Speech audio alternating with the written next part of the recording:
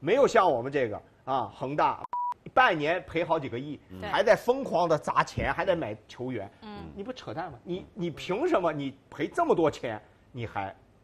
但恒大说他要拿冠军，所以要拿冠军图什么呢？你为什么不把这些钱放到了孩子们身上，放在培养教练员身上，放在你建设主场身上，你的基地身上？嗯，你的足校都已经校长辞职了，就是片面追求足球成绩，足足呃急功近利，嗯。啊，跟足球本身没有任何关系。